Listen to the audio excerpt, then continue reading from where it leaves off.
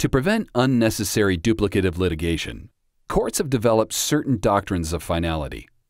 Res judicata and collateral estoppel are doctrines of finality that prevent parties from relitigating claims or issues that another court has already decided.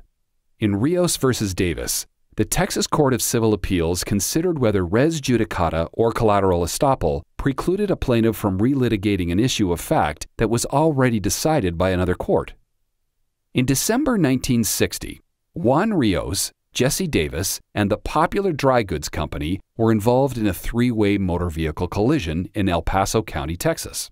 Approximately four months later, in April 1961, Popular sued Davis in the El Paso County Court at Law, seeking to recover $443.97 in damages caused to his truck as a result of the accident. Davis answered the complaint by alleging that Popular was contributorily negligent.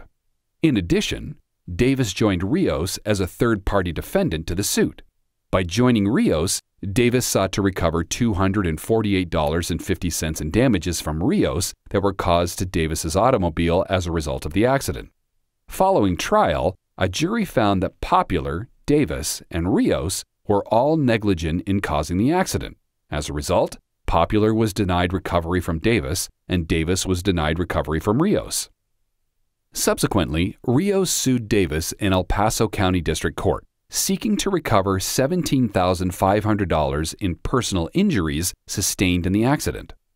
Davis, now the sole defendant, urged that both res judicata and collateral estoppel barred Rios' suit because of the jury's findings of fact in the prior case regarding the same accident.